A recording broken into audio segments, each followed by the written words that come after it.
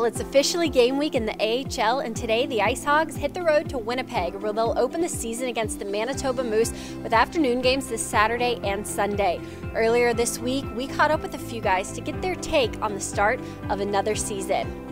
After leading the team in scoring last year as a rookie, forward Lucas Reichel says he's gotten even bigger and stronger this year. I, I worked hard in the summer, I feel stronger, I feel more comfortable uh, in the battles or in the corners, uh, use my body more a little bit, and yeah, we'll see in the next game.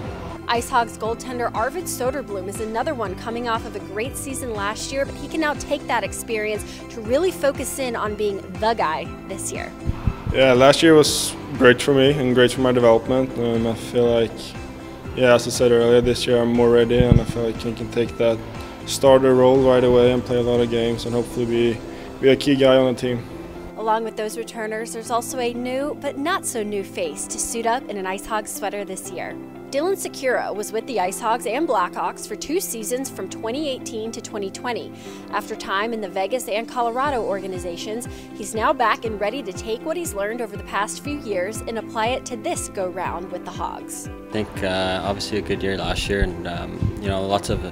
I guess kind of life experience and just experience in general. You know, being a part of you know Vegas and, and their run there, and then Colorado last year, and and after you know you learn a lot of stuff from, from being around uh, teams like that. So I think the, you know maturing off the ice. Obviously, I think when I was here, I was first year rookie. I was the Reichs, Reichs around here, and now being an older guy kind of seems weird. But uh, you know, it's a role that I kind of embrace now and I take on. You know, uh, I'm willing to, to teach uh, the young kids whatever they need to know, and um, you know, it's a cool kind of cool position to be in. After kicking off the season in Winnipeg, the Hogs return home for the long awaited home opener against the Chicago Wolves on Saturday, October 22nd. We'll start the night with a pregame block party beginning at 4:30 p.m. before puck drop at 7. You can still reserve your tickets to that game by heading over to icehogs.com. We hope to see you there.